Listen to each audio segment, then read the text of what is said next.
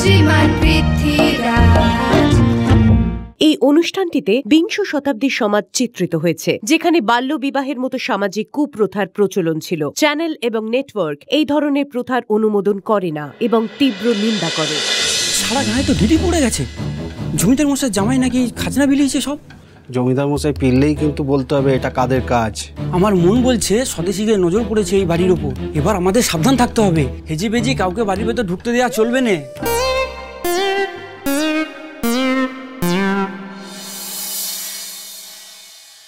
এই দাঁড়াও। কোথায় যাওয়া হচ্ছে? কাকে চাই? হাব ভাব দেখ যেন মনে হচ্ছে এই বাড়ির মালিক উনি। এরকম পোশাক আশাক পরে এলেই কি জমিদার বাড়িতে ঢুকতে পারবে ভেবেছো নাকি? বেরো ওখান থেকে। না হলে এই বল্লমটা না পেটে ঢুকে ফাঁসিয়ে দেবো। তোদের বেলি ভাষা বই দিয়ে জমিদার মশাই আপনি?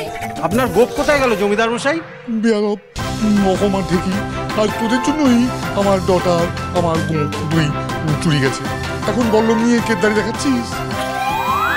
কাল যখন জামাই আমার খাজনা লুট করলে আমার লুট করলে তখন কোথায় ছিলি তোরা সেই কথাই তো বলতে চাইছি জমিদার মশাই। কি কথা? বল শুনি। জমিদার মশাই খাজনা লুট আপনার জামাই করেনি। তবে কে করেছে? স্বদেশীরা।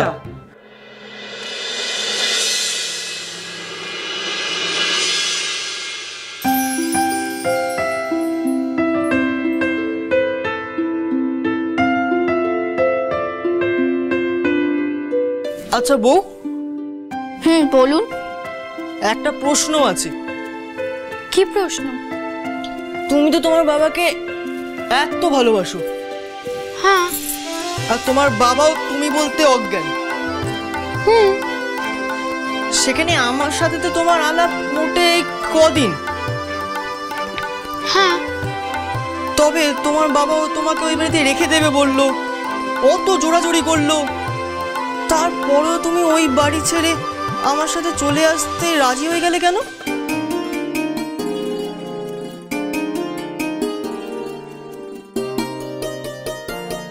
মায়ের কাছে শুনেছিলাম। বিয়ের পর মেয়েদের শ্বশুর বাড়ি নিজের বাড়ি। মেয়েরা শ্বশুর ঘর আলো করে থাকে। অষ্টমঙ্গলার নিমন্ত্রণ পত্র যখন এলো, তখন এ বাড়ির সবাই আশীর্বাদ করে আমাদের ও বাড়িতে অষ্টমঙ্গলা করতে পাঠালো। আমি যদি অষ্টমঙ্গলা করতে গিয়ে ও বাড়িতেই থেকে যেতাম এ বাড়িতে ফিরে না আসতাম তাহলে তো বড় মা মা আমার ও বাড়ির বাবা মাকে নিয়ে কি ভাবতেন? বলুন তো ওনারা খুব কষ্ট পেতেন। ও মা বড় মা কষ্ট পাবে বলে তুমি এই বাড়িতে আবার ফিরে এসেছ। এই কারণে তুমি আমার কথায় রাজি হয়ে গেছিলে? আরও কারণ আছে। হ্যাঁ? কারণ আছে? কি? ফুল পিসি রাঙা পিসি বলেছিল আমার মা বাবা নাকি আমাকে কোনো শিক্ষা দিতে পারেনি। আমি যদি এ বাড়িতে ফিরে না আসতাম তাহলে তো ফুল পিসিদের কথা সত্যি হয়ে যেত। ও তুমি এই কথা ভেবে ফিরে এসেছ? আর কোনো কারণ নেই? আরও একটা কারণ আছে। কি? বাবা তো সেদিন বললেন আমাকে ওকালতি পড়াবেন।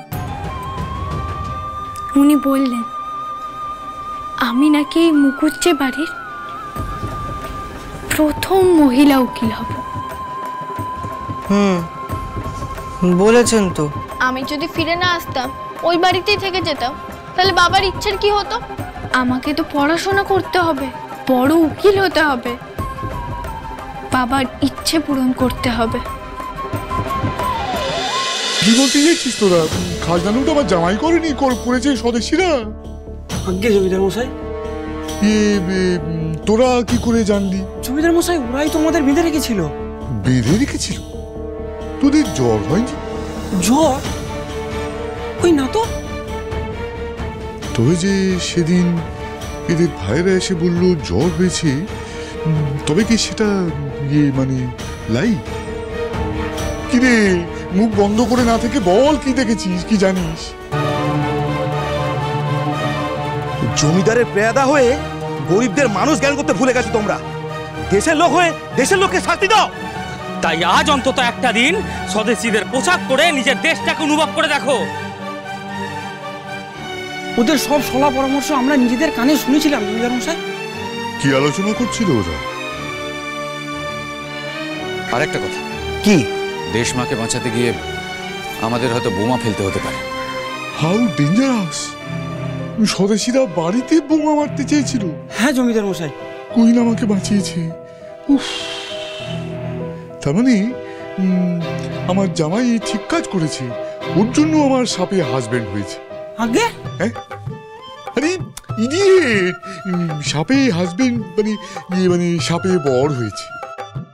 আমাদেরও তাই মনে হয় জমিদার মশাই।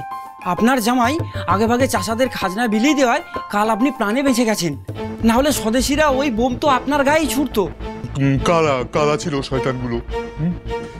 মুখ চিনিস তাদের? আমরা তো ওদের চিনতে পারিনি কর্তামশাই। ওরা তো আমাদের মুখ চোখ বেঁধে রেখেছিল। যদি অভয় দেন তাহলে আপনাকে একটা কথা বলি? এক তো না করে বলো। চোখে না দেখলেও সেদিন স্বদেশীদের মধ্যে একজনের গলা খুব চেনা চেনা লেগেছে আমাদের। কার গলা? কি বল? নিখিল দাদা বাবু।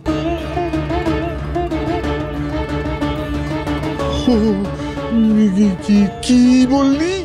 হ্যাঁ জমিদার মশাই আমাদের চোখ মুখ হাত পা বেঁধে রেখে দিল ওই স্বদেশীদের মধ্যে একজনের গলা আমাদের খুব চেনা চেনা লাগছিল নিখিল দাদা বাবুর গলা। মরকট ডাঙ্কি নিখিল আমার তোর সম্পর্কের জ্ঞাতি মাই ও ওর নামে স্বদেশী হওয়ার বদনাম দিচ্ছিস গুলি করে দেবো। আগে চোখে দেখিনি, নিশ্চয়ই ভুলই হবে। ভুলই হবে না, ওটা ভুলই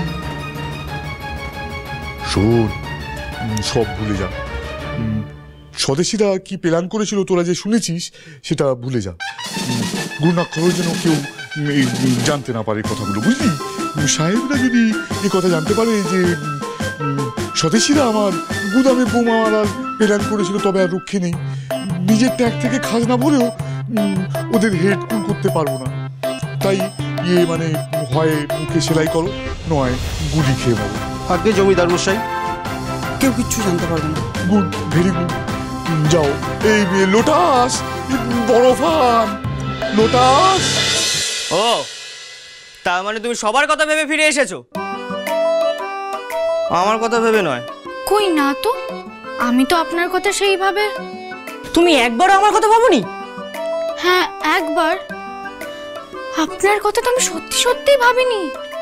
বেশ তবে তুমি যাদের কথা ভেবে ফিরে এসেছ তাদের কাছেই যাও। আমি চললেন। না।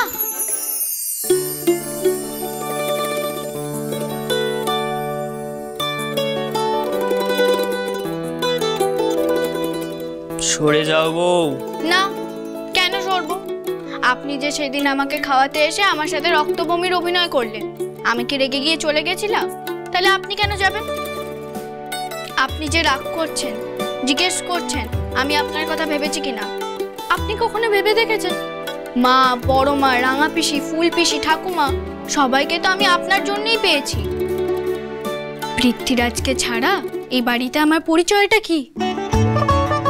আর আমি যে মহারাজ পৃথ্বীরাজের কুইন অরেঞ্জ সেটাই তো আমার সব থেকে প্রিয় পরিচয়।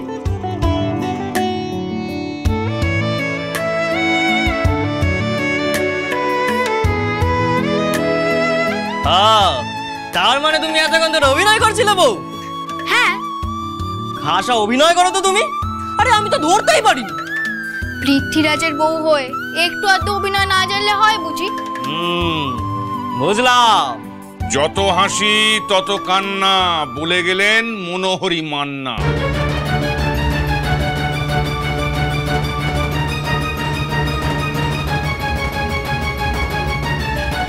বাবা বাবা মনোহরি মান্না মানে তো হেডমাস্টার মশাই। যাক স্কুলের পাঠ চুকলেও মাস্টারের নামটা মনে আছে। কি হয়েছে বাবা? হঠাৎ হেডমাস্টারের কথা বলছেন কেন? বলছি তার কারণ তোর স্কুল কামাই দেখে উনি চিঠি পাঠিয়েছেন।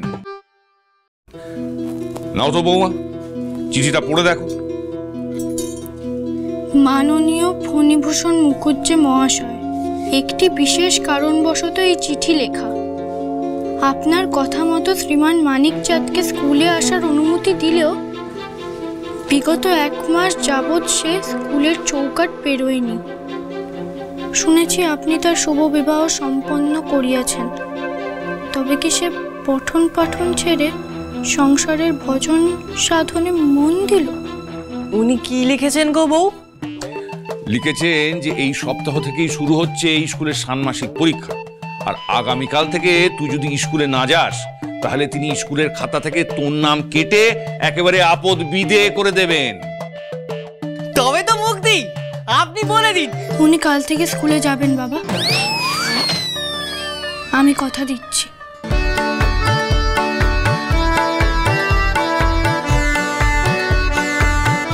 বউ বাপ পারেনি মেরে ধরে গুটিয়ে নিয়ে ছাল।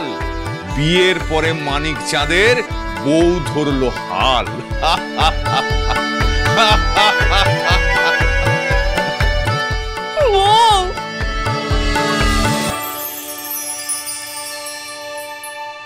আপনি স্কুলে যেতে এত ভয় কিসের? পড়ার ভয়। পৃথ্বীরাজের এত ভয় মানায় না। কিন্তু বউ কোনো কিন্তু নয়।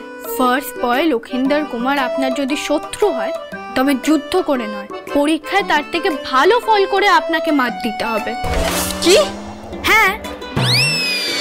কমলা ও শ্রীমান পৃথ্বীরাজ, সোম থেকে রবি সন্ধ্যে সাড়ে ছটায়, স্টার জলসায়।